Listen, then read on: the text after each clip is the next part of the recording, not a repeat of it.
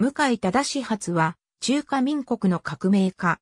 名は中発だが、筆名の中発で知られる。かなは洋徳性などがある。青年時代は関陽の軍事工場で学徒として働き、後に関陽造兵省で勤務した。後に不当妊婦などにもなっている。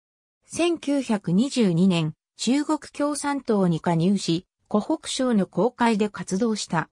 後に、関野標高思想公会副委員長を務めている。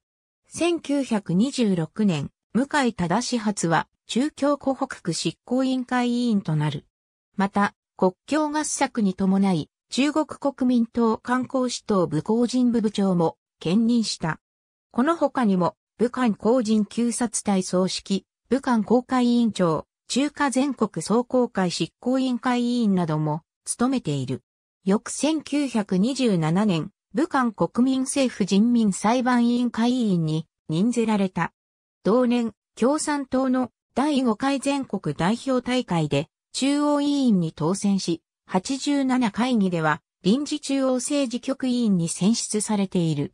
間もなく、ソビエト連邦に赴き、中国共産党中コミンテルン代表に任ぜられた。1928年2月、向井正発は、コミンテルン執行委員会第9回拡大全体会議に出席し、コミンテルン執行委員会委員、主席団委員に選出された。さらにモスクワで開かれた中国共産党第6回全国代表大会で、向井は中央委員に再選され、6期一中全会で中央政治局常務委員、中央総書記に抜擢される。しかし、向井は中央宣伝部長、利率3の9月に過ぎず、実験割が握り、いわゆる利率3コースが推進された。1931年初頭に利率3が失脚した頃、向井正発は帰国した。